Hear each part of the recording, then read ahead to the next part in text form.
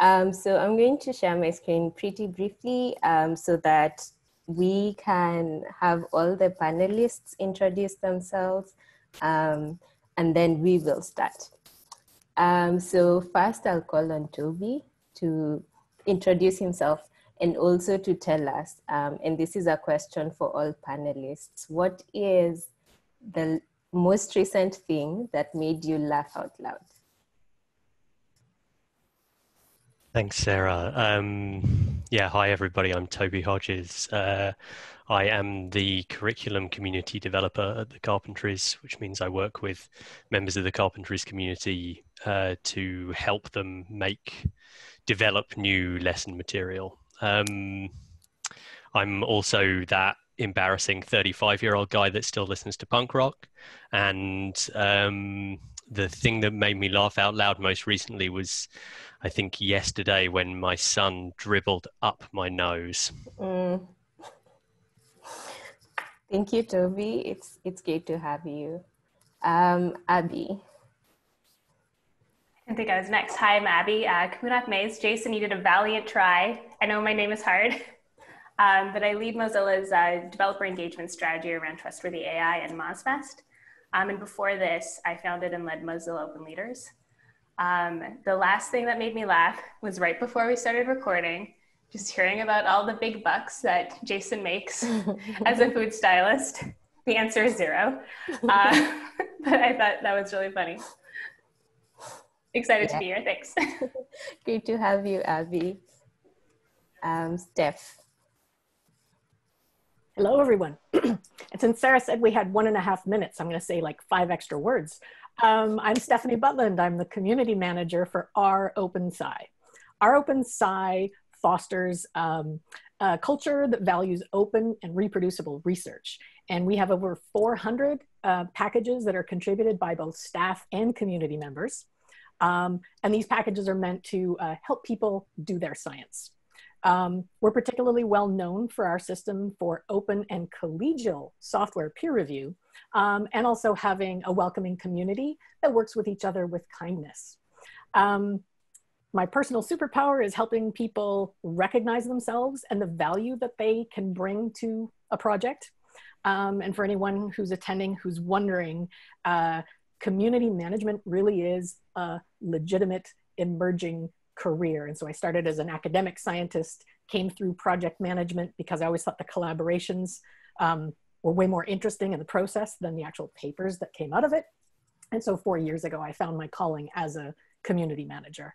Um, I'm proud to have a GitHub sticker on my dirt bike and a. Kawasaki sticker on my laptop.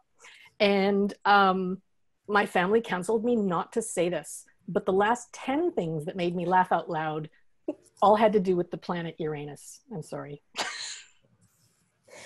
That's completely okay, Steph. It's it's great to have you on the call. Um, and for everyone joining us and everyone in this session, we'd also love to hear what made you laugh most recently. Laugh out loud. So if you want, you can share in chat as well. Um, next, we have Angela Li. Hi everyone. Um, my hair is a little shorter than it is in that photo, so I got my first haircut in, in a while recently. Um, but I am the previous maintainer community lead for the Carpentries, which I'm excited about because that means there's space for someone else to come in and develop that community and, and help it grow, which is going to be great. Um, so I guess I put some generic words on here because I'm not quite sure where I'm going at this point, but um, I'm starting and growing computational communities, so I have some work um, in that respect, both for um, in an academic setting and then sort of outside of more traditional academic settings. Um, and I also love building capacity. So if you have uh, questions about sort of starting, growing, and then giving away communities, like that's something that I feel like I have um, maybe a little bit too much. Maybe maybe it's a good thing that um, I give away my projects instead of holding on to them too too tightly.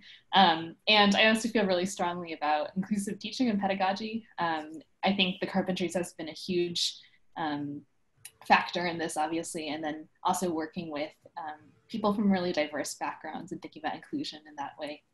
Um, I'm trying to think about the most recent thing that made me laugh. Um, recently in my home, there's been a bit of an ant fiasco, which Mm. doesn't sound like the thing that would make you laugh, but um, I think it's really nice to have like a partner who just like finds it as funny that we were like we're talking about. Like we probably shouldn't leave out our food and then like the ant fiasco like came like the next day. So um, I think just finding the joy in, in sort of unfortunate situations can sometimes be um, a good way to to you know have a laugh even though like there are a bunch of ants everywhere. So I completely agree. Um, there's great value in finding joy in everything. Um, thank you, Angela and Kate. Hi, folks. I am the Bioinformatics Training Manager at Fred Hutch Cancer Research Center in Seattle, Washington. Um, I, in general, you know, come from a background in higher ed, and a long history with the Carpentries. I was involved in community governance, and my career focus right now is trying to do my best job um, developing both community and training and talking about how those are actually sometimes the same thing in uh, the biomedical research community. Um, when I am not doing dorky things related to science and education, um, I do a lot of fiber arts, and that uh, means that my apartment right now smells a lot like wet wool. Um, Jason might be smoking sausages right now, but I am dyeing things, which means, you know, getting it wet and heating it up. The last thing that made me laugh out loud, uh, I have a habit of sticking googly eyes on things in my apartment right now. Um, and so I'm submitting a picture to my work group of a plant with googly eyes because I don't have any pets and we were suggested to send in pictures of pets. So I'm saying it's my new pet. Amazing. Thanks for sharing, Kate. And I'm next. So my name is Serah Rono. I am Director of Community Development and Engagement at the Carpentries.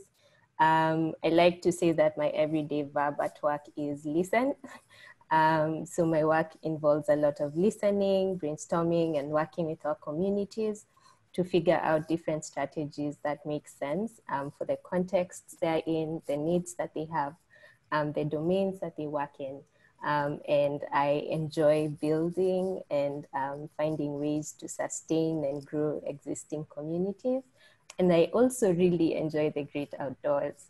Um, the thing that made me laugh out loud most recently um, was um, something I came by when I was looking up library humor, which I really enjoy. Um, so this library had set up a table for books on procrastination, and then they had a notice that they were going to get round to it at some point, so the table was empty. So that, that made me very happy for no reason at all. Okay, um, and I see the chat has been busy. Thank you all for sharing the things that bring you joy and that have made you laugh out loud. Um, so we are going to start in the interest of time. Um, so I'm going to be asking questions to our panelists and um, at some point we'll have a discussion. Um, I've put out a question in um, the Etherpad and it's in line 51 and it's a question for all of us, a question about climate crisis and the responsibility of communities um, in this regard, um, especially with regard to traveling to conferences and things like that.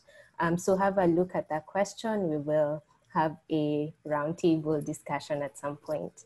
Um, for now, I would like to start um, from the very beginning. Um, so we've mentioned community a lot in our introductions. And for our purpose, um, for the purpose of this conversation, I want to define community very broadly as um, a group of people who come together to work towards a shared goal. Um, and so a question for you, Kate. Um, I want you to speak on the development of community values um, as a cornerstone for supporting communities and the individuals that join these communities. Thanks. I am especially excited about community values right now. I was a member of the Carpentries Executive Council when the Carpentries values were being developed. And in the two years since I've been at my current position, I have been working pretty hard to think about um, what are the interesting and different things about the community here and about the way that I'm supporting the community compared to things being very siloed and very hierarchical um, in other areas. And of course, I found that the values completely underlie that. Um, my group just had a blog post come out that had a draft of our community values that highlight things like open science, um, the idea that we care more about um, learning than about knowing things. Um, and really being able to put voice to some of those main characteristics that I think a lot of us in the carpentries community take for granted, but are not a given in most other communities. And that relates to professional development pretty closely because for all of the objectives that I have as a community builder, I try to also make it do double duty for some other purpose. So I'm trying to facilitate the community while at the same time offering an opportunity to a trainee who's interested in developing a particular skill, like teaching or like leading a group. Um, even if I develop outreach materials for use with high school or undergrad students, honestly, the difference between a high school student starting to do biomedical computational research and someone with a PhD who's never done computational research, it's not that big, right? And so thinking about ways that we can continue to branch out and integrate the different activities in a way that helps facilitate everyone and helps normalize all of the community values that we have is one of the reasons that I'm really passionate about it.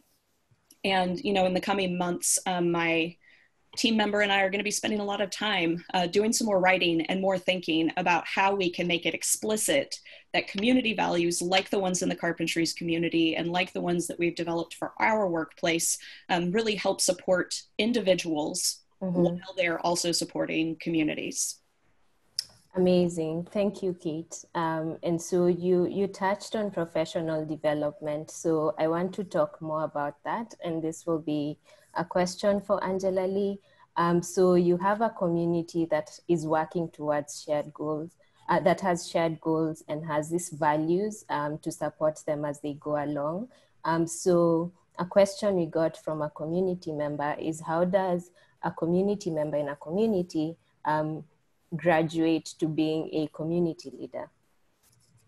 Sure. Um, I want to sort of jump off what Kate said and, and sort of reemphasize why community values are so important, which is because you attract people who are as into those values as you are, right? So um, I joined the Carpentries because I saw that it was a group of people really dedicated towards inclusion, towards thinking about all these things. And, and for a while, I was just a community member. So I was just, you know, getting started with teaching, learning how to do things, like getting really invested in, in sort of um, the sort of on the grounds, like doing some of these workshops.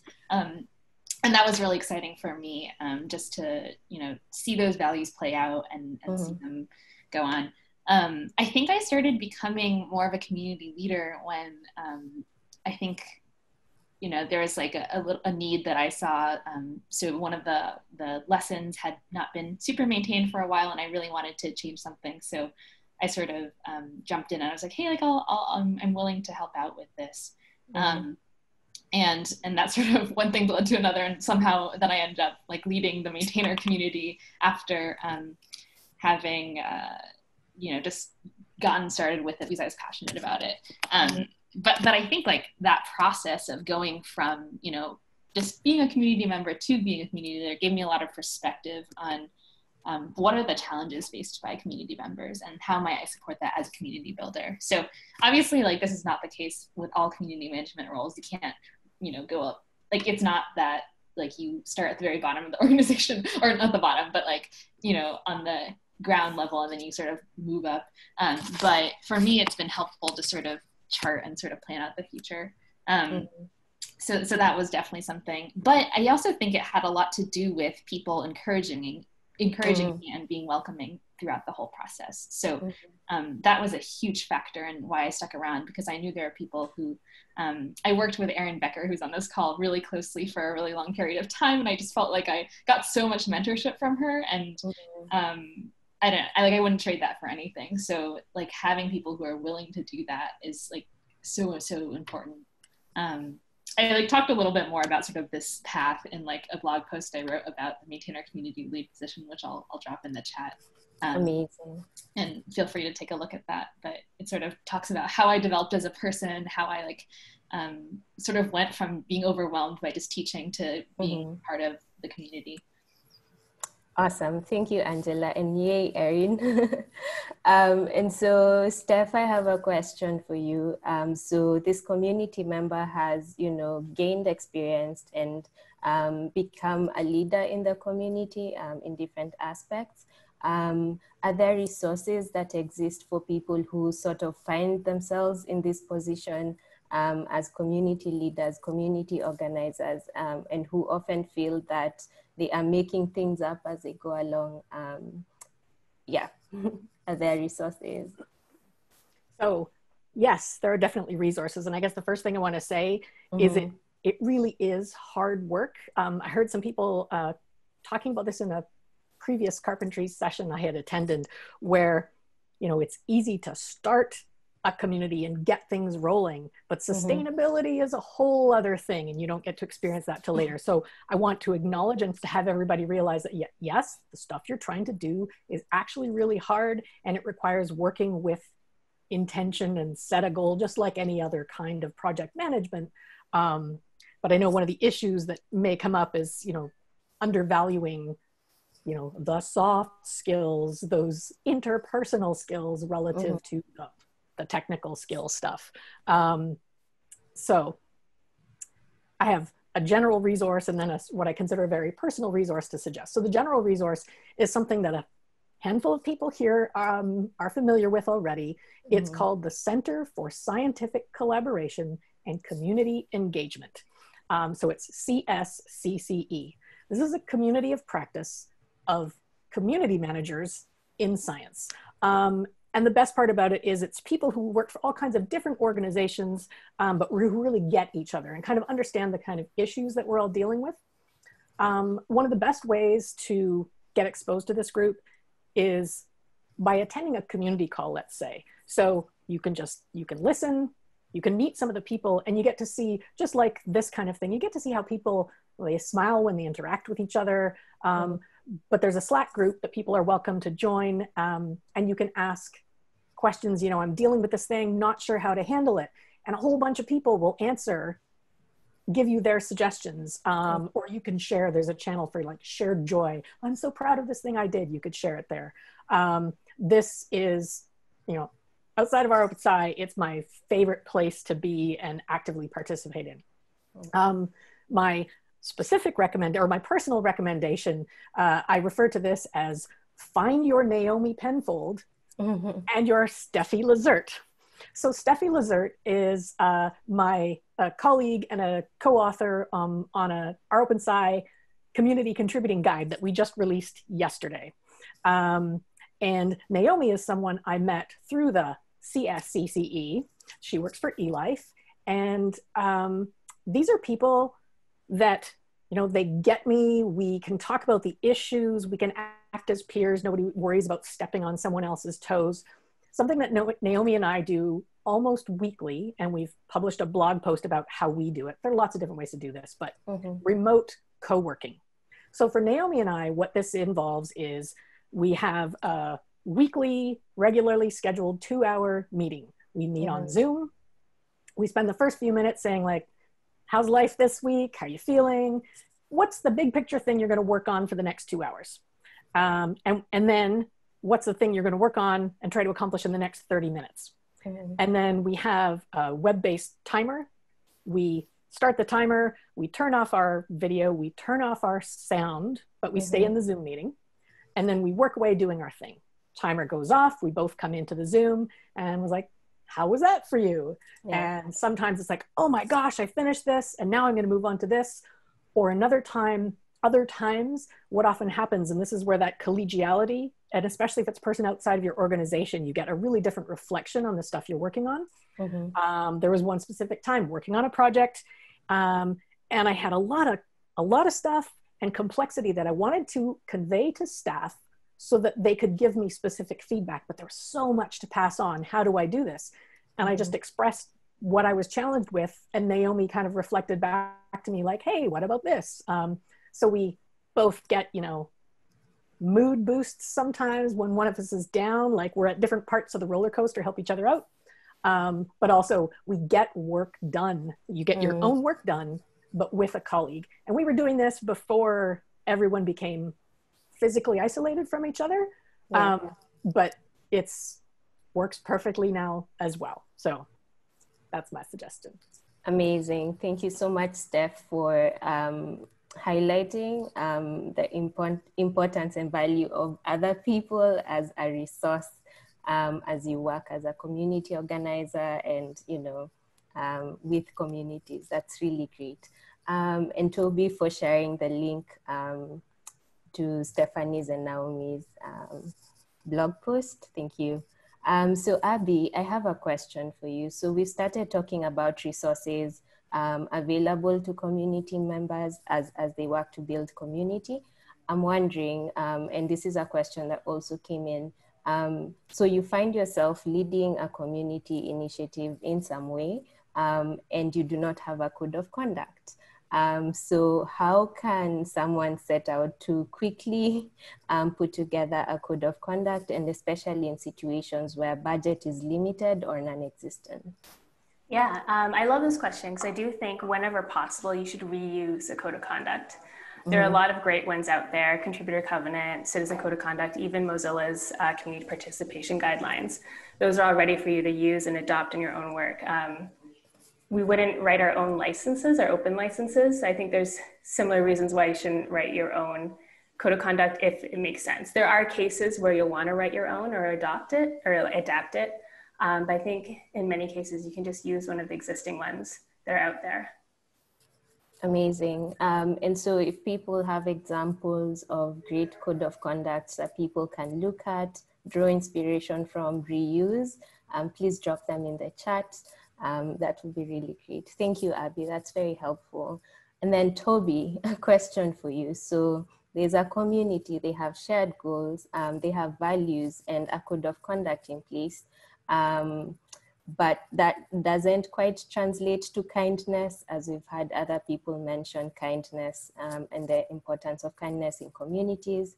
Um, so, how do people go about cultivating humaneness, as someone put it, um, in communities?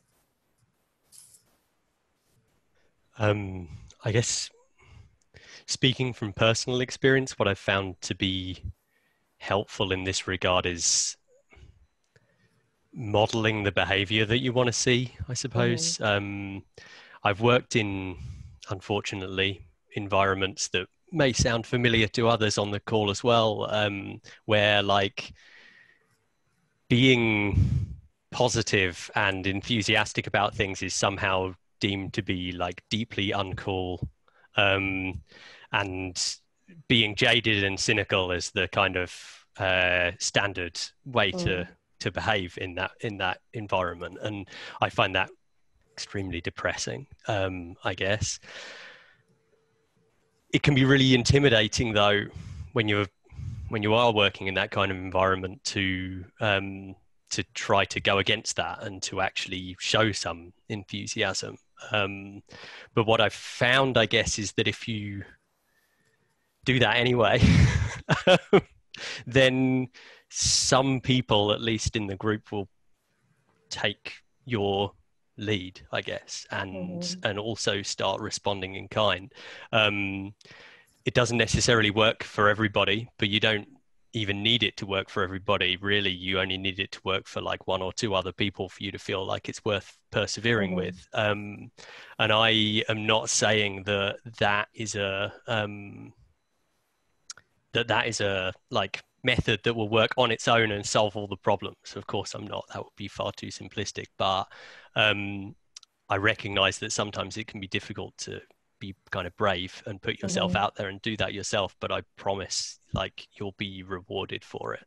Mm-hmm. Um, the other thing I want to say is like going beyond that kind of positivity and enthusiasm, specifically if you're like unapologetic about being kind to other people and v- verbally kind of support people when they display kindness mm-hmm. to others, um, then again, I think that's what you can do as a leader to try to at least encourage that kind of behavior that you want to see in the environment that you're in. Amazing. I, I love that. Um, I have a follow up question for you, Toby. Um, so, um, like Stefanie said, this definitely is hard work. Um, and as you also uh, recognize, it takes perseverance, it takes time.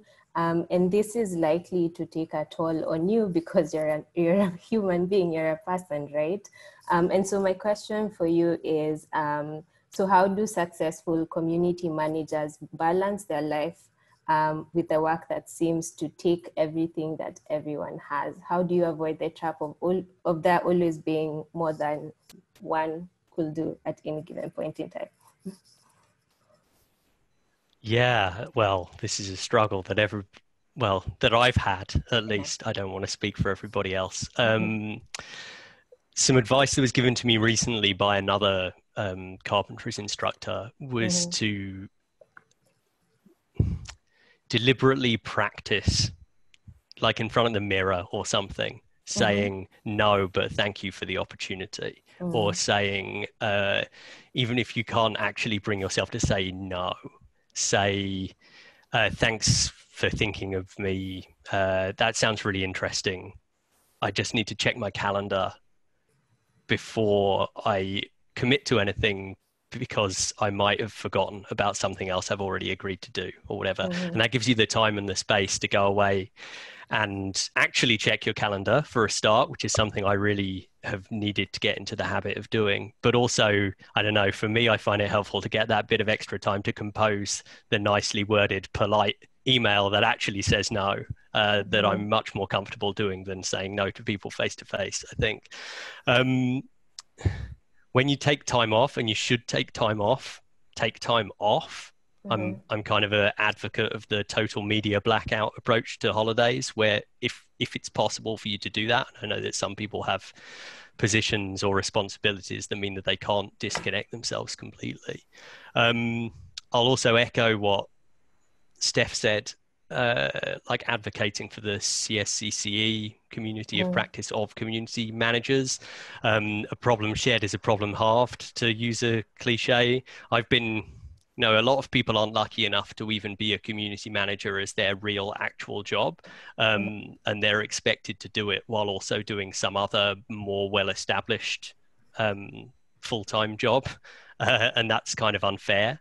I've been very lucky that I've worked in positions that are specifically for community management. And I've been even more lucky that I haven't been the only community manager for my community. In the mm-hmm. previous mm-hmm. position that I held, I was working with, um, well, a lot of cool people, but specifically for, for the longest time, uh, Malvika Sharan, who I know quite a lot of you will know from.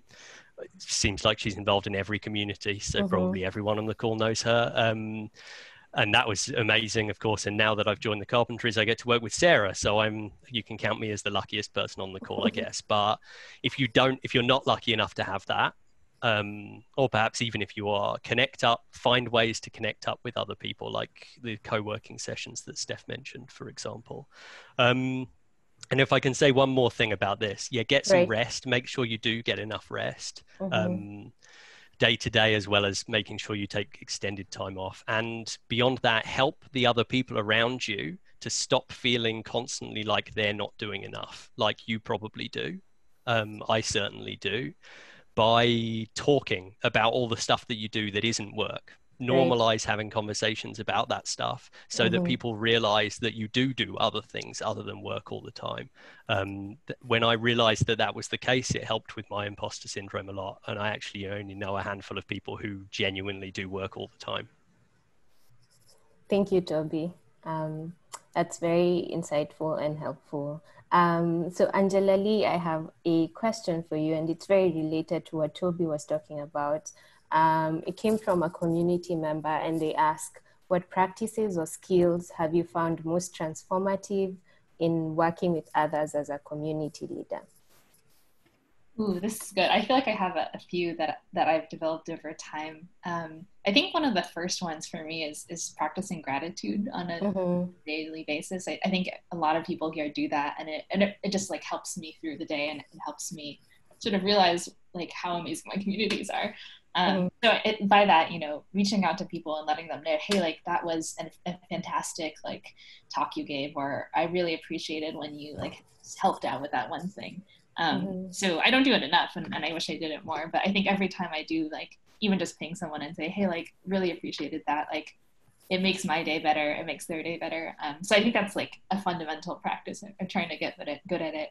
Um, mm-hmm so sort of that, that praise like like like making sure that you're telling people what they're doing well not only like you know we could improve this we could improve this. Um, and this is something that i feel like it took me a while to to develop because i'm always so focused on like what can we do better? Like after you know a successful event or a launch or something um, after some resource goes out i'm like well oh man we could have done this better we could have done this better. Mm-hmm.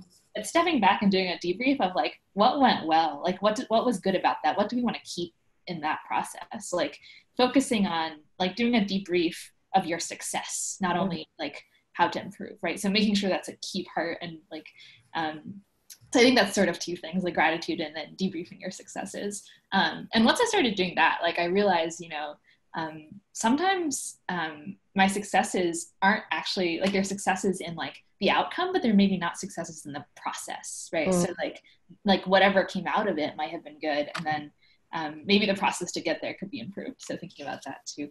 Um, trying to think of something else.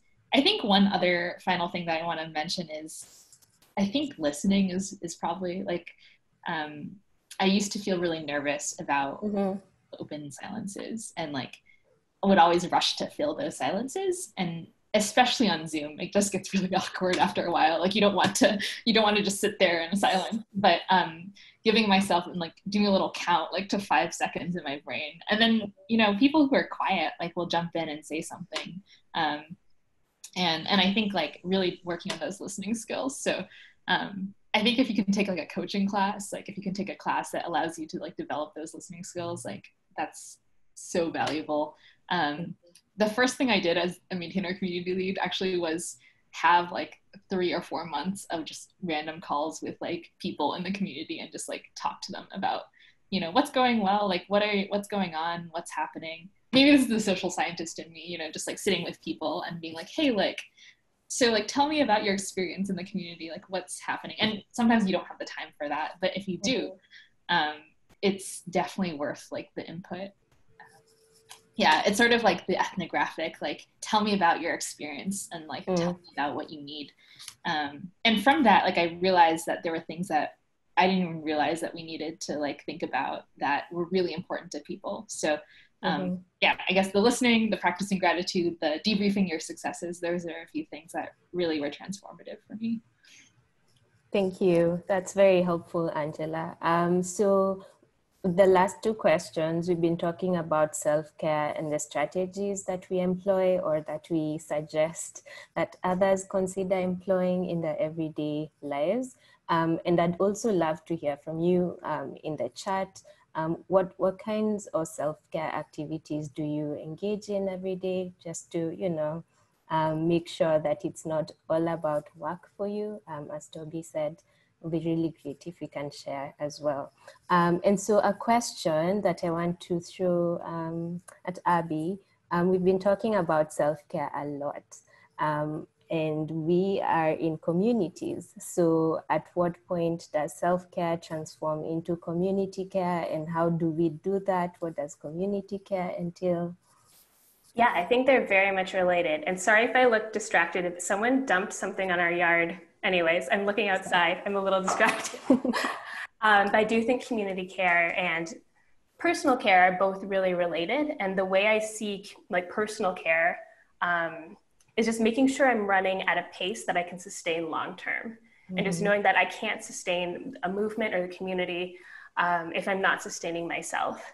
So starting with that and making sure I'm pacing myself properly and like everyone's pace is different and it changes depending on what life stage you're in um, but then p- adapting that to the community like helping your community pace themselves you don't want your community to be a flash in the pan that gets mm-hmm. really worked up and does something for one week and then everyone burns out and has to go take a rest sometimes mm-hmm. that's what you need you need that like spurt of energy to reach something but then understand people need to take a break afterwards or even when there's a crisis understanding mm-hmm. that like people might need to step away from this project for a while and that's okay or they might need to rally together so just understand the pacing of your community and mm. making sure people aren't going too hard and checking in with people and i just love all of these suggestions about like the co-working and leaning on community and leaning on others just making sure you're actually asking people how they're doing and doing regular check-ins and seeing like are people still like finding joy in this work or is mm-hmm. this becoming a real burden um, and then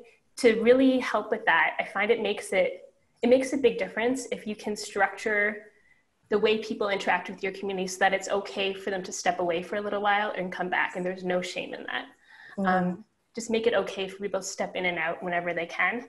Um, that yeah that usually shows that you care about them and gives them permission to like take a few months out um, if it's been really rough. And i think we're seeing this now just so yeah with so much going on in the world people really need to take a step back and making that mm-hmm. okay yeah. and not shaming people for that amazing thank you so much abby um, and so related to that and this is a question for kate um, um, it came from a community member also and they ask in big communities, what are some of the ways that one can give every last community member a voice to make sure that they are heard and that they feel heard? I think uh, making sure that the feedback we're getting from a community is representative of the community is generally what we try to attack as a goal, right? Mm-hmm. And I'm continuing to be very interested in what I see are the outliers, um, people who have felt disenfranchised from a community are like in, in, my community we're interested in everyone involved in data intensive research mm-hmm. um, theoretically that could be anyone who does biomedical research because everybody has to deal with data and so then it becomes a question of how do i start to interact and engage with people who may not feel like they're a part of my community Right. Um, and so I've been thinking a lot about finding ways to um, solicit feedback in multiple mechanisms. And so mm-hmm. a combination of anonymous and, you know, if someone wants a response, including an email, um, doing mm-hmm. informal and formal feedback mechanisms, uh, structured and unstructured. Um, and and the truth is that it really isn't something that like I could sit down and say this is my plan for gaining feedback because mm-hmm. really interacting with people like it getting feedback from them is constantly integrated in that. Um, so every time I teach a class, I am paying attention to what my participants are saying and what mm-hmm. they continue to need. And then I fold that into sort of like the next iteration of the class I teach later. If somebody you know seems like they're having a rough time like dropping them an email afterwards um, it's amazing to see like how people respond when someone sincerely asks them if they need assistance like personally um, mm-hmm. and i think that's sort of a testament to the way that you know our academic and research culture especially in biomedical sciences is these days um, mm-hmm. and i think to a certain extent by virtue of like me existing um, you know, one of the first things I heard when I started my role, all of our scientific computing staff are middle-aged white men. And so me showing up, uh, not being a middle-aged white man, um, that was in and of itself something that was very useful mm-hmm. um, to other people, you know, and the truth is that I can sort of help normalize the idea that uncertainty is a thing and that it's okay to ask questions and that you will have a response that will help you. And part of that's recognizing the limitations of your community as well. Right. And so, like, me being able to say, like, yeah, what you're struggling with right now is really, really hard. Mm-hmm. And like that type of validation is incredibly important for some people to hear, um, especially if they're dealing with imposter syndrome and things like that. Um, and so I think, you know, the answer is it's a hard job, like continuing to open up and broaden the space that's available for people to step into and have mm-hmm. their voices heard. But what I can also say is that I have what I feel is a much better idea of the community than most of the other people who are relying on standard assessment mechanisms like a survey um, that only a specific type of person will yeah. answer. Yeah. Thanks, Kate. Um, I have a follow-up question to that, um, and I think I'll, I'll throw it um, at Angela. Um, so we mentioned, Kate mentioned um, getting feedback from people um, and, and being aware of some of the limitations that they have. Um, and some of these limitations are around the tools and platforms that online communities employ. Um, and this is something that we've had time and again um, in different communities. So um, question for you, Angela, how can we make um, interactions in online spaces more inclusive um, and specifically for people with disabilities and then also people from um, a non-English background, people who speak languages other than English as a first language. For sure. I think, well, obviously one of the first things to do is to to go in knowing that you're going to make your your space inclusive. And I, I think that's already a, a huge step is um, a lot of people, I think in communities, uh, they might not expect that their needs are like going to be met. But I think just knowing that going in um, and, and, and um, planning for that from the outset is really, really important. So, so keeping that in mind as you design your programming. Um, mm-hmm. I think one thing we did do in maintainer onboarding um, this past summer was um, we had some some folks who were calling in from pretty remote areas. Their internet wasn't great, um, and I don't think they're native English speakers.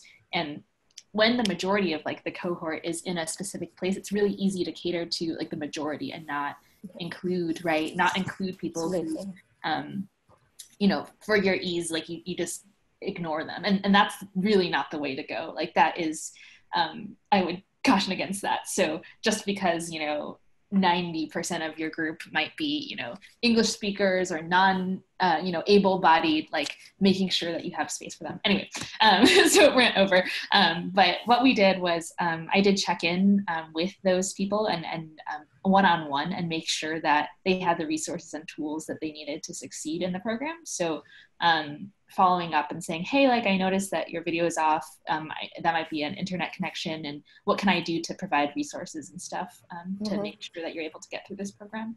Um, and so I guess I heard from them, and they're like, yes, like I'm, I'm, what I'm going to do is this is my plan. Like I plan to read the materials after and then put the notes in later. And is that okay? Mm-hmm. And is that fine? And, and I was like, yes, that's fantastic. I'm so happy you're contributing and participating in that way. Um, mm-hmm. so working with the people that um, you're serving um, to collaboratively come up with a solution that works for them. Um, I think actually I probably should punt the disabilities one to someone who has worked more with uh, populations, but um, like I think definitely in maintainer onboarding it, it showed me a lot about how to work one-on-one and how to collaborate to come up with like you know successful things that um, can make people feel welcome and, and make you feel like they are a connected part of the community. So. Mm-hmm. I really like what you said about designing um, your systems with these people in mind rather than building for the majority and then sort of, you know, putting band-aid um, solutions for for this um, other people. So thank you. That's very useful, Angela. We have a very specific um, scenario here, um, and I'd like Toby or Abby or both to speak to it.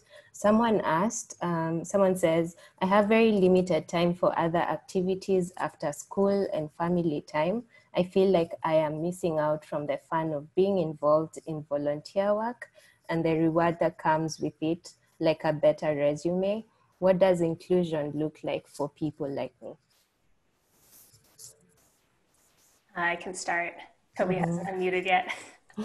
yeah, and I think um, I think that's really valid, and I, I do think I want to talk to the project leads for a little bit. I, when you're leading a project, I think it's important to um, make room for these casual contributors, and often something like having a cadence really helps. So if people know that you're you're doing like a monthly release cycle, they can mm-hmm. come in and do a bit of QA at this time each month, and it's something they can do easily. They can drop in and out. Um, yeah, and, and creating those kinds of roles, I think that's on the onus of the project lead. It's not a busy person to try to say like, hey, I just want to try to do this a little bit. Um, so if you are a busy person, I'd say shop around for different projects and try to find something that can accommodate you. Um, mm-hmm. Um, but if you are running a project, do make space for those kinds of things. Toby? Thanks, Abby. Yeah, everything I'm going to say is also aimed at the leader and not at the person who wants to contribute. Uh, I guess speaking to the person who wants to contribute, that's really great, and I hope that you do. Um, from my side, I guess I think to echo um, what's been said already about um, trying to do some things like or make space for kind of asynchronous um, communication, I guess, and a bit for sort of decision making as well. I think it can be kind of um, exclusionary to make all of the important decisions about a project or that affect a community with only the people who are able to turn up to the meeting, or for mm-hmm. example. Um, and so being explicit open and like communicative about exactly what the process is going to be having proposals for things that are going to be decided upon published far enough in advance in a place that everyone knows where to find them um, to be able to gather all of the relevant views uh, from all of the different kind of stakeholders uh, before a decision gets made and then also communicating afterwards like what the decision actually was in the end if you see what i mean i think mm-hmm. this can be helpful. I also just want to to the to the like community managers in the audience think about what the unwritten rules are of your community or your organization mm-hmm. and think interrogate why those are unwritten write them down and if you can't write any of them down or you don't feel comfortable writing some of them down, really interrogate those. Can mm. you replace those with some system that can be documented? Um, and if not, like, what does that tell you about your organization or your community? Um, and I think that then, if I can speak in more specifics, having well documented ways in which people can contribute um, including realistic estimates of the time and the kind of prior knowledge skills or whatever that people will need to be able to perform those tasks. I think that those things are helpful. If someone comes with limited time they can really get a view on what it is that they're going to be able to do in the community and then make sure that that's actually true. And i know steph's been doing some great work on uh, contributing guides recently. So I think that's a good example of that. Yeah, I completely agree, Toby. Um, and I would also say, um, if you're in a position to, and there's room for it, also design ways that people can link back to um, anything that they do in your community so that they're able to add it in their CVs um, or things like that. That would be really great. Um, so, so far we've talked about community building, we've talked about the place of values in communities and what professional development looks like um, in community building. We've talked about self-care and community care. Uh, we've touched on um, inclusion in different ways. Um, and I think uh, we really want to talk about tech skills and soft or core skills um, a little more. Um, we have 30 minutes left to this call. Um, and as I promised, we had that um, question that was for all of us to discuss. And I think this is a really good time for us to discuss it before we then talk about tech skills and soft skills and their place in um, open communities. Um, so the question, I'm going to read it out and open it up to anyone who's um, happy to contribute. The question is, um, is the climate crisis a topic of discussion um, in our communities? Would um, have would have this type of conf- will this type of conference have moved online for that reason, or the leaders of the different communities don't think it is needed yet? Online commu- online events are difficult to manage, but hybrid ones are probably worse. What can we do in the future to not only be inclusive but also be environmentally friendly? How much greener are virtual platforms than transport to in-person events?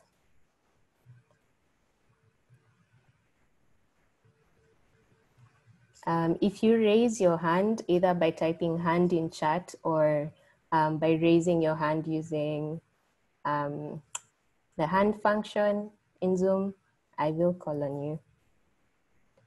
And as we wait for people to raise hands, Toby, do you want to speak to this a bit? I do. um, this is a topic that's really important to me. Um, I want to address the last part of that question 1st mm-hmm. I can only imagine that virtual conference formats like this are considerably better, like greener than in person international events in particular. If nothing else, just purely because long haul flights are so much worse than every other mode of transport in terms of like environmental impact. That might not include launching people into space. I don't know, but I guess very much fewer people do that than take long haul flights. Um, and if a Zoom call like this is generating that kind of like carbon output, then we have a big problem. I guess. I think the climate change is the single biggest challenge that we face and that we all have a personal responsibility to try and do what we can to fight against that. Um, that, unfortunately, I think has to include really looking at assessing the need for attendance at like international conferences and things like that. Mm-hmm. Um, one of the good things one of the only good things about the circumstances this year with the pandemic are that it's uh, forcing everybody around the world to figure, try to figure out how to make this work, this kind of online virtual meeting or hybrid events. I think the useR community um, were mm-hmm. running or were planning to run some kind of hybrid hub and spoke model for their conference this year. Honestly, I don't know whether that all ended up being run virtually in the end given the circumstances.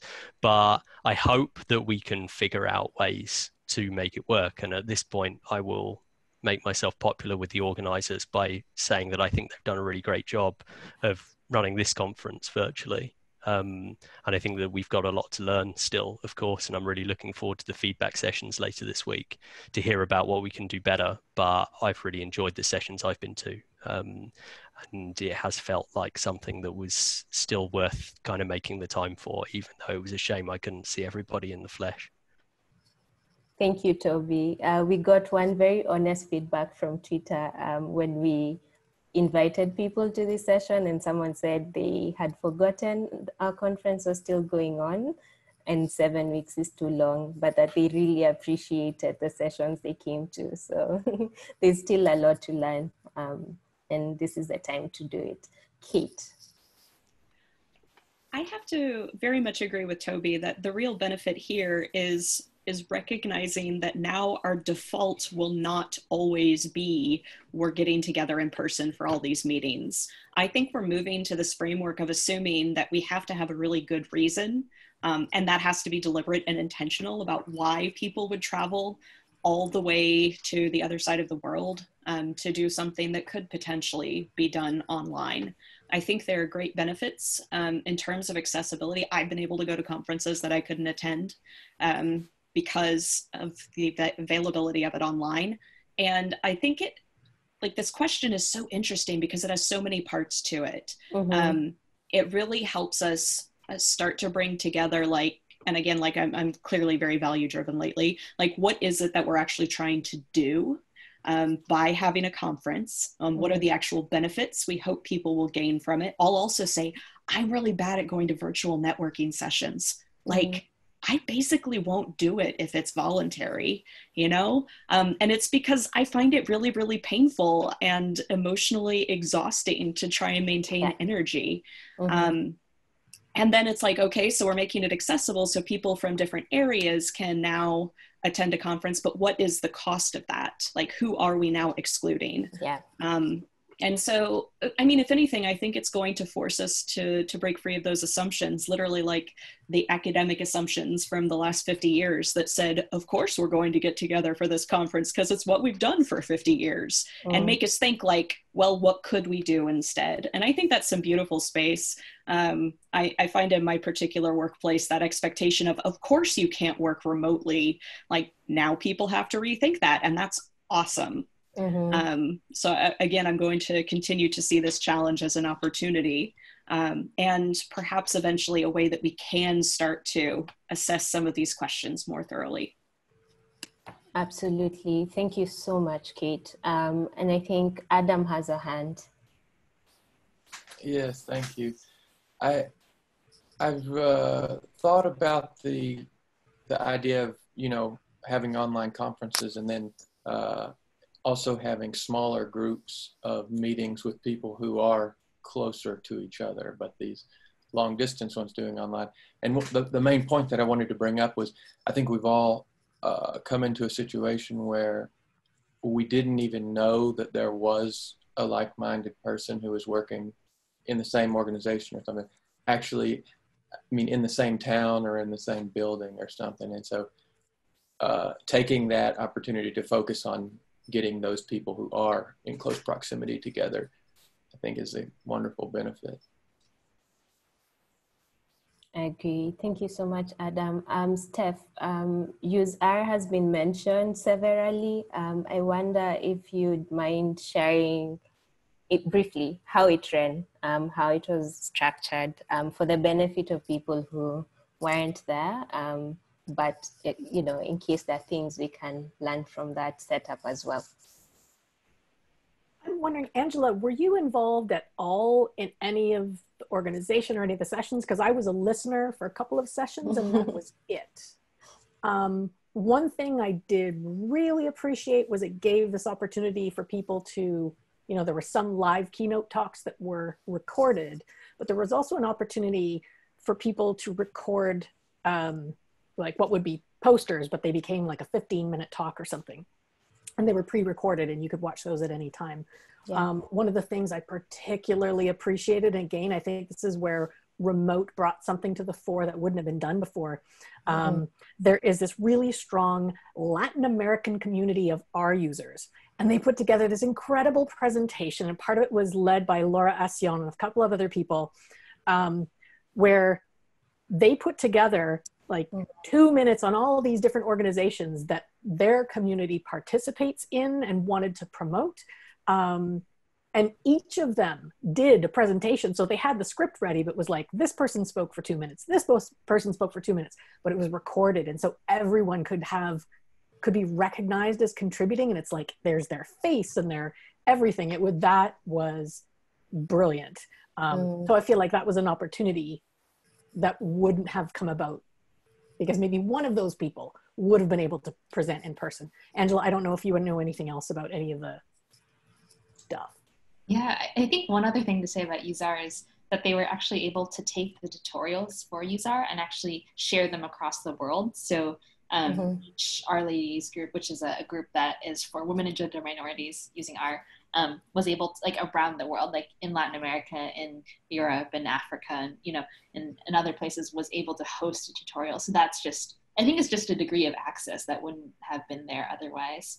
Um, so, so I thought that was a really cool way to to do that tutorial system. And, and um, yes, and thank you. Oh yeah, Paula said that she was she was there for the video. Thank, thank you so much for your work, Paula. Um, yeah, I guess like on the climate question, I think like I feel like the, you know, climate is a huge issue. And um, I think there's a sliding scale on how much people mm-hmm. take into account when planning various things. And, and you'll see this in a lot of places. Some people don't care at all. And some people are like, hey i'm not i'm not going to conferences because they're too far away or you know but i think like that combined with like a lot of other reasons to do online conferences is a huge reason why we should we should think about that so um, mm-hmm. I, I, do know people who won't go to conferences if it involves like a, a flight, you know, like a, a certain distance. Um, I've been trying to, for me, I was really excited that CarpentryCon was in Madison because that was like a, a train ride, which was very eco-friendly um, from from where I was in Chicago. But um, if it's in South Africa, I probably wouldn't go. So, um, although I would love to see South Africa, but you know, climate-wise, like that's that's a huge impact. So um, I think thinking through um, and the environmental impact as well as sort of all the other factors can can really help us sort of think about the future of conferences. Absolutely. Um, I've seen some people, some organizations also do carbon offsetting, which is like for every couple of miles that you fly, you donate and plant trees. That's one thing that people also do. Um, Toby, I want you to um, voice the um, other concerns around in-person conferences and how exclusive they end up being um, that you put in chat, and then we will move on to the next agenda item. Thanks, Serah. I mm. think this is the most important thing I was supposed to say, and I forgot to say it. So thanks for giving me the space, I guess. Um,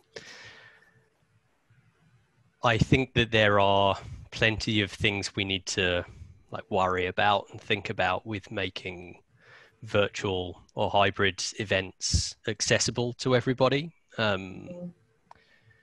But whenever we talk about this, it's really important not to consider like the standard in-person event format as the perfect thing and we're trying to reproduce that because they're imperfect in loads of ways. And specifically i think from an accessibility and a like inclusivity perspective there are plenty of international events that are completely impossible for people to get to for visa reasons because they've got care commitments that mean that they can't be away from home for that long, um, or because they can't afford it because it's a really expensive plane fare followed by a really expensive registration fee and really expensive accommodation costs.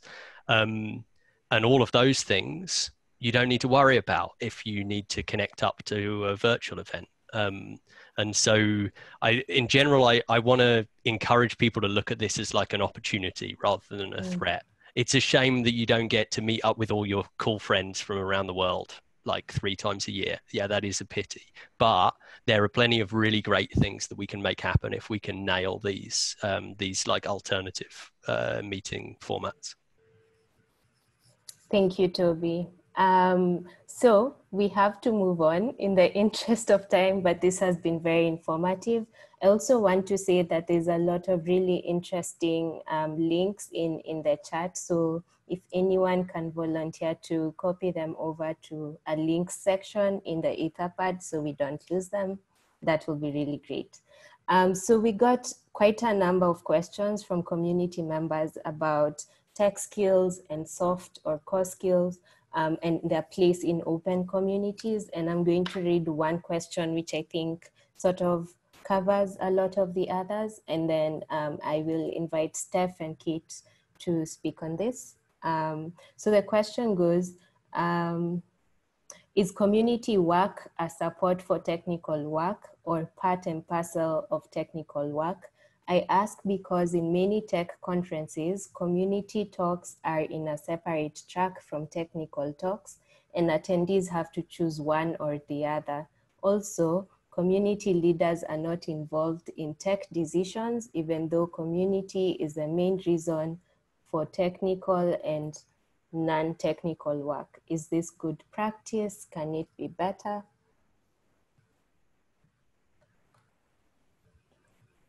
Uh, yes, to all of that stuff. Let me see.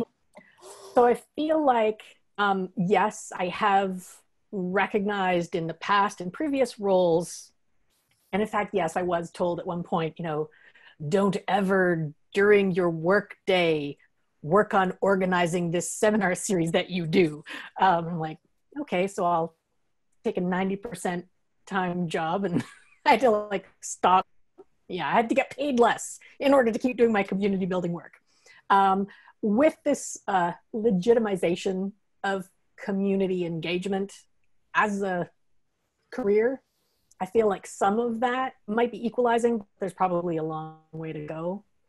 Um, there are certainly skills that maybe people are starting to appreciate more that play a critical role in community building work, interpersonal skills like having empathy and active listening and you know as i said like my my interpersonal approach to community management is it's not necessarily sustainable, but I feel like it's one of the keys to being successful because when someone says something, I feel like I understand what they're saying.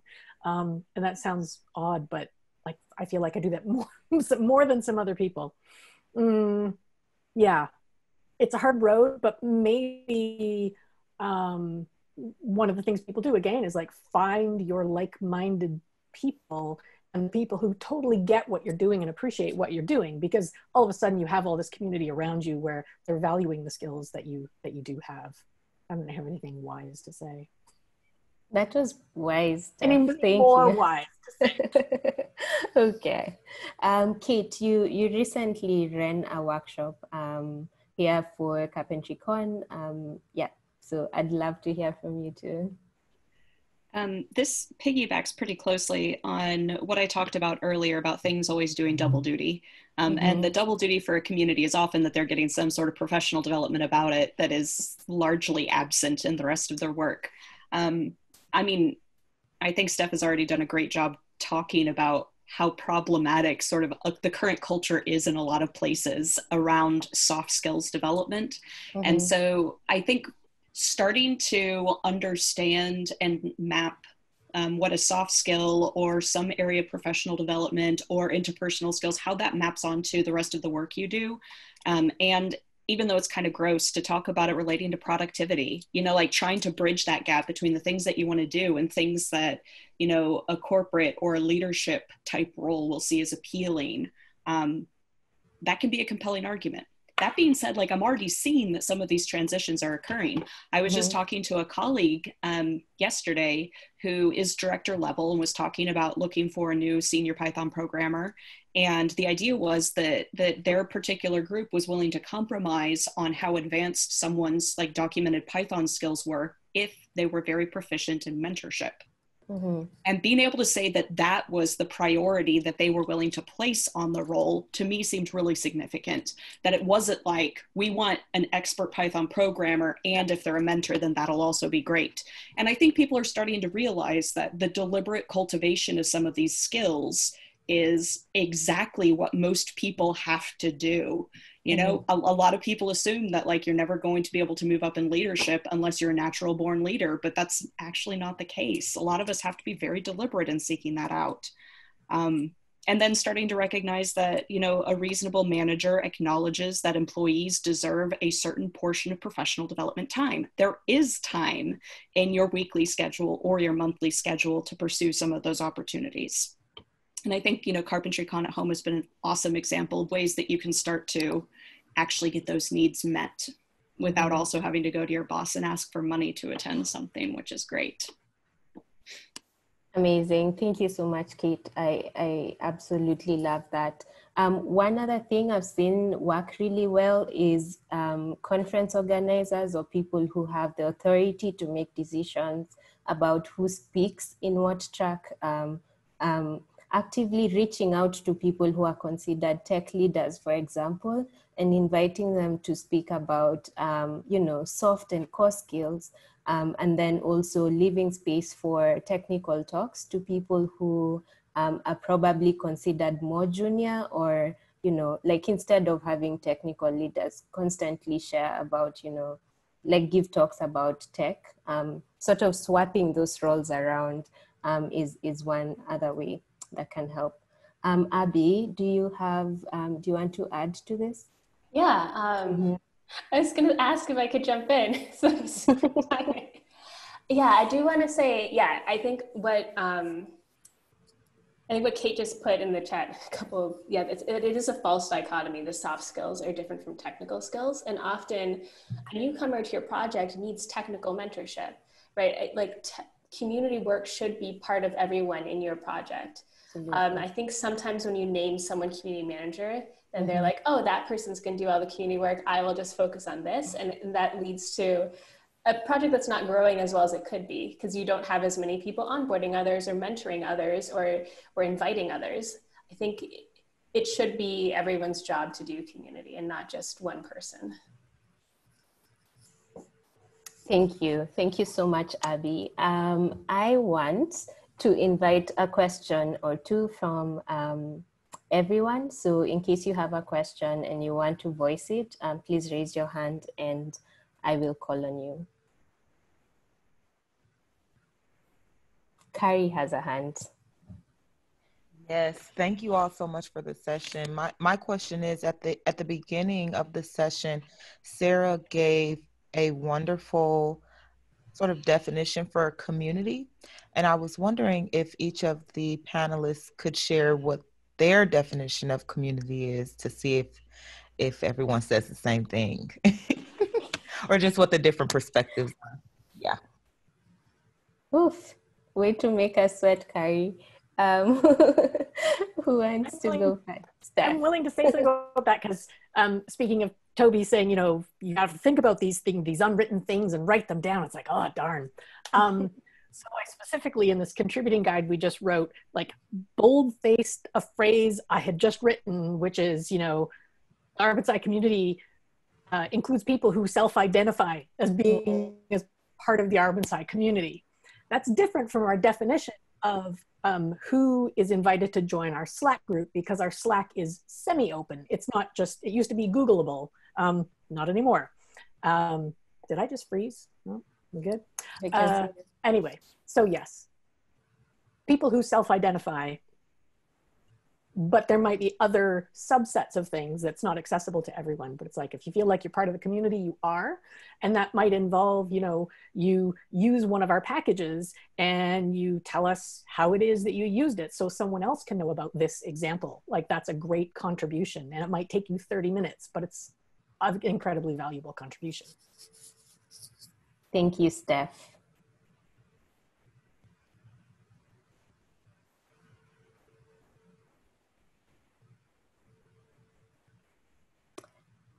Uh, Kate has a hand.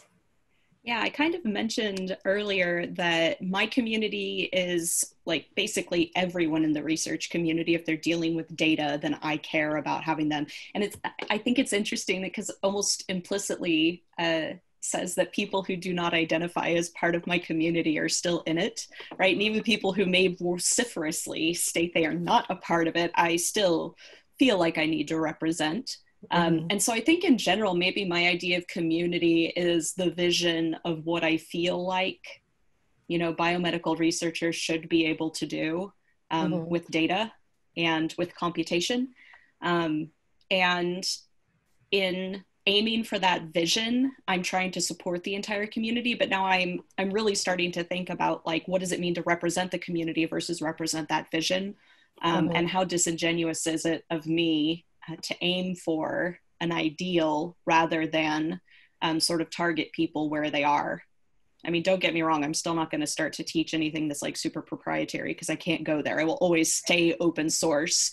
But what does that mean in terms of the computational community that needs to have support for non open source solutions? I don't know that I have a, a good answer to that right now. Um, I do know that you know it's it's not a small thing to convince people that you know training which everybody at my workplace agrees is a really important thing, is actually synonymous with community building. Mm-hmm. And linking those together has been a really, really powerful approach for us. Amazing. Thank you, Kate. Um, I'm trying to see if there are other hands or if we can continue to answer Carrie's question. Does anyone else have? Christina has a hand. Yeah, I have a, a quick question for the group. Um, mm-hmm. What, for the panelists,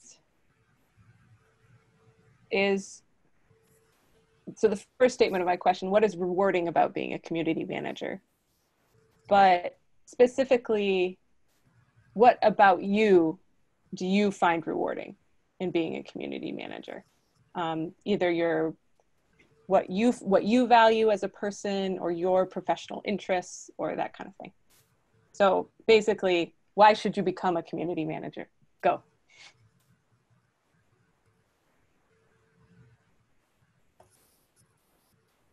Um, I guess I can start. You stealthily learn a lot um, that you wouldn't have otherwise learned from being mm-hmm a community manager. Like you're forced into learning things that might be uncomfortable for you to learn, but then yeah. when you learn them, you're so grateful for having gone through that. So I think that's sort of vague, but I just like I can't count like the number of times that I was like, oh, I, I don't really know very much about yeah. this.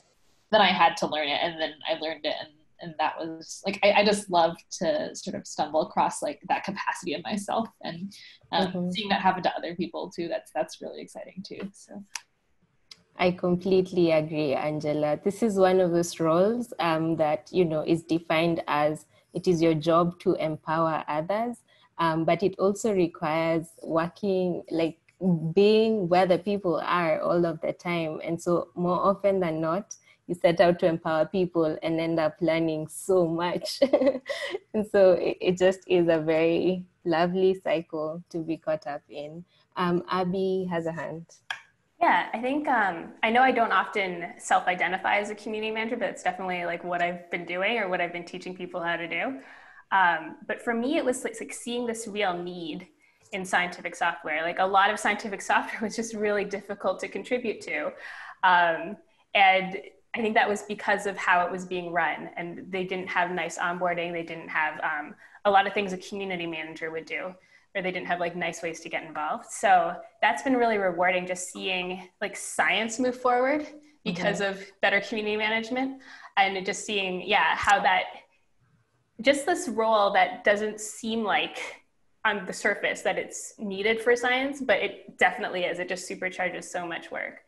Um, so yeah, that's what's been most rewarding for me. Thanks for sharing, Abby. Uh, we have time for one more person to share before we have to do closing remarks. Okay. Right, so let's do closing remarks. Um, so we um, are at the end, um, close to the end of CarpentryCon at home. It's been seven weeks of amazing sessions of different kinds. Um, and, you know, community members from around the world have participated. Um, and so a question for us all is um, how can we continue to build inclusive computational communities and leaders beyond CarpentryCon at home? Um, and we can start with you, Steph. Thank you, Serah. Um, so I feel like I'm doing way too many plugs for this contributing guide, but like I said, we just released it yesterday. the fact is, my motivation for developing it in the first place was that people would contact me and say, I'd like to get involved in rOpenSci. And they're like, okay. um, and it was a challenge and very like low throughput one-on-one trying to figure out what did that mean to them and what mm-hmm. might they contribute that would give them what they want, but also meet our needs at the same time. And trying to figure this stuff out one one-on-one is totally not sustainable. And it's also not accessible because it's like someone needs to feel comfortable reaching out to someone in the organization. Yeah. And sometimes we're perceived as an organization as like, ooh, it's an in club of really advanced developers, which is not necessarily true. So we designed the guide like really trying to i was trying to get in the heads of people who might want to contribute and and think um, so there's a chapter you know what brings you here mm-hmm. and a bunch of i want to statements like um, i want to raise my profile in the open science R community. And so under that, there are a couple of actions like, hey, maybe you want to uh, review a package because then there's an open thread of your participation here. Um, or maybe you want to share a use case for how you have used the software. And then we do a lot to promote it. We've got 30,000 followers on Twitter. Here, let, let us help you raise your profile by mm. you contributing something to us. So there's that chapter. And then there's a chapter um, that brings together all of our resources for the first time. So th- mm. yes, they're linked on our website, but we have stuff everywhere. It's like intentionally saying, here's this thing, here's our philosophy of it, here's how you can contribute. And so when you say, I want to do this, and you click on this action, it takes you to the section that says, here's how, how you can do it. So now it's not, nobody needs to know somebody. It's a thing out there online for free um, that anyone can have a look at and then hopefully not feel so sheepish about um, participating in. I also feel like, I mean, yeah, transparency for the win.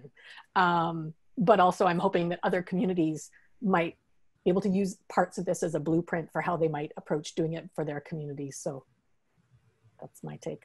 That's fantastic, um, especially the bit about, you know, communities being able to look at this and see how it can translate to their communities because as abby said um, you don't always have to start from scratch find what's out there and then build on it um, you know in a way that makes sense for your community. Thank you so much steph. Um, angela li Yes, I think one thing, if you're like me, you probably went to like one or two sessions, took like a gazillion notes, and then put the notes in like a folder and then like won't look at them ever again. I would Mm. consider, uh, say to yourself, like, what's one thing that I will take away from the sessions that I attended, and Yeah. how will I use that to build my community around me? Just like a single thing, like, you know, not like you don't have to go through like the two pages of notes that you took on like that one session, like three weeks ago but um, just just ponder to yourself like how am i going to change this into action? How am i going to take what i've learned through these Mm. sessions and, and really use it to move something forward? And it can just be like one nugget. It doesn't have to be like i'm going to do this and this and this and this. It's just like that one thing. Um, so that is my question to you. What are you going to take from CarpentryCon to think about uh, moving forward Amazing. And I love that it builds on your earlier suggestion to do retrospectives time and again to audit where you are and where you were before and how things have changed. So that's really great. Thank you, Angela. Um, Abby. Yeah, I think a lot of the skills needed for building this community, um, you learn this through mentorship. I think mentorship is so important. And, and it might not be that you have like an actual person who's calling themselves your mentor. This could be peer mentorship. Um, just you need people around you supporting you doing this. And I think it's really important that you, um, yeah, that you, you put yourself in a community where you're learning how to do this and learning how to lead a community and build something really inclusive. Um, and like learning how to be a leader. And yeah, I probably should have thought longer about this question since it's like the final closing. but I think by by getting that mentorship, but then also mentoring others so that they know how to do that, I think that's how we'll really change what the landscape looks like. If you're actually intentionally helping others do the same. Um, so please think about someone you can mentor. That's really great, Abby. Um, I think we've been in a call. I remember Christina was there, and um, in that call, we were talking about how to help people see themselves as the mentors they already are. Um, and peer mentorship is such an invaluable thing to do. So, thank you. Thank you. Um, Kate. I have been thinking a lot lately about how we assess success in the work that we're doing. Mhm. And so I think one of the best things we can do for ourselves as we're trying to figure out how to grow a community is to figure out how you'll tell that the community is healthy. Um, are you looking for number of people um, enrolling in a newsletter or participating in a Slack channel or Mhm. something like that? Are you like looking for levels of engagement? Um, or are you looking for another specific type of interaction that'll help you understand it? Um, I've been trying to think more lately about community leadership as recognizing um, like two things that are kind of uncomfortable for me to do, but that are actually most of my job, and that's repeating myself Mhm. um, and also asking for help. Often Mm. repeating asks for help. And both of those are the ways that you start to change the culture to fit the type of community that you would like to see or to sustain that culture, um, Mhm. as well as find people to help you sustain it. And so I think, Toby, I'm laughing at your chat comment. Um, and so I think the punchline is that figure out what you're trying to succeed in and then keep repeating those and keep asking for help for those. Um, Mhm. And that's how we're going to figure out, you know, sort of like the place that we want to go. Um, and and avoid trying to start a whole bunch of new stuff. A lot of community development is telling people that things exist and that they can be Mhm. helped by them. And it's Mhm. not easy and it's not always fun. Um, but consistent messaging is very important. Yeah, I really love that. Um, and especially because asking for help um, also has an element of transparency to it, but also vulnerability, which helps us to earn trust with the communities that we work with. And that is hard, but it is important to cultivate. So thank you, Kate. Um, and Toby. I'll keep this brief. Um, this is a question with a lot of different elements to it, and I've chosen to focus in a cowardly fashion on one, um, which is the growing part. So, Mhm.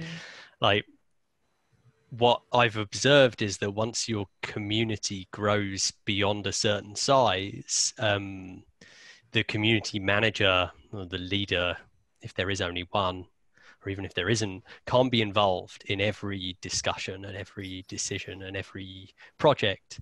And so you need to make sure that you trust your community members to do that stuff without you. You need yep. to make sure that they've been empowered to do that stuff without you. Mm-hmm. And this is what I want to say to all of you who haven't reached that stage yet. Even if you haven't reached that stage yet, think about what you can be doing now to make mm-hmm. sure that when that happens, you're not the bottleneck, that you've designed things from the ground up so that everything has to go through you. Um, so, for example, like avoid building processes where like all everyone's looking at you the entire time to make the decision about about what happens. Make it clear to people how and that they are allowed to make those decisions. Then the other thing um, i want to mention is the places where i've got into trouble before have been where I've spent like months just running from one thing to another, kind of mm-hmm. led by a seemingly permanent sense of urgency um, to do the things they need doing right now. Block time in your calendar to take a step back and take that like strategic view on where you're trying to get to in the end because i have personally had the experience that i found that i've kind of wandered off that track because i was chasing after the thing that i needed to i felt like i needed to chase after right then mm-hmm. thank you toby so build resources, empower people, and get out of the way. um, thank you. Thank you all so much for sharing um, your ideas and suggestions, experiences. Um, this has been really great. It's time to go. Um, so Jason, closing remarks, and we go. sure. It was a fantastic session. Uh, thank you for moderating, and thank you to all of our panelists. Uh, last things to think about number one, um, this is actually going to happen again. so thank you to those who are going to show up a second time tomorrow. Um, you can check the Etherpad for the link, but some of you might have had questions or even tonight you'll have dreams um, that will pose, you know, new, new questions that you want to bring back to our panelists. And maybe even more important, I think, after hearing the conversation, you might recommend this to other people who didn't uh, think about attending or make sure. So I would pass that along because it was really uh, a tremendous number of some total years of knowledge uh, shared here. So I, I really appreciated that. Um, the other thing is that there will be a survey uh, that you will um, be able to take at some point. Uh, so if you do see a CarpentryCon survey or a question about this particular session in your inbox, uh, we'd like to collect that. Um, so that's all that I had. I don't know if there's anything else, uh, Serah. Other than that, we thank everybody for attending.